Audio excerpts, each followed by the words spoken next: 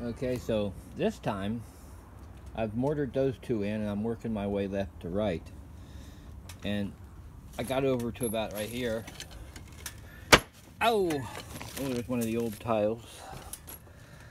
Um, and the over, I don't know what you call it, but the gap, you know, it wants to be more towards the center, started creeping. So I decided I'll just cut some out of that tile that was there. Stick that in there. And then I'll be able to um, slide that whole row over. Let's see if it works. So we got that one there.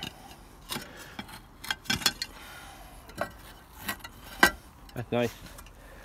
A lot more towards the center now. And I want I don't want them touching.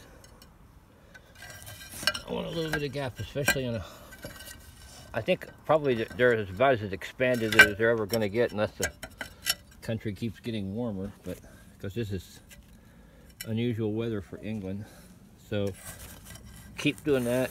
Get those all over there.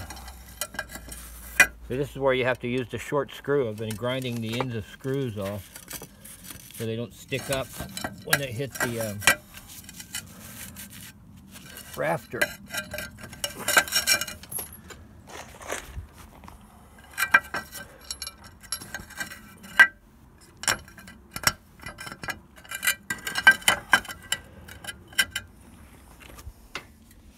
We're going to see what we're going to end up with over here now.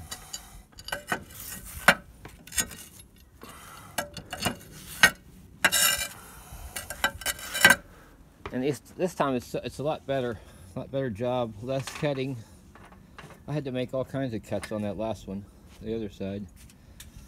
So we're getting up there to a half there, and then a, a big one. and then need more tiles. I'm to go ahead and finish this one, put some mortar on there, and then I can start another row.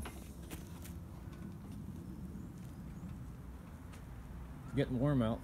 Got a couple of red-tailed kites floating around, looking for some lunch, or just having fun.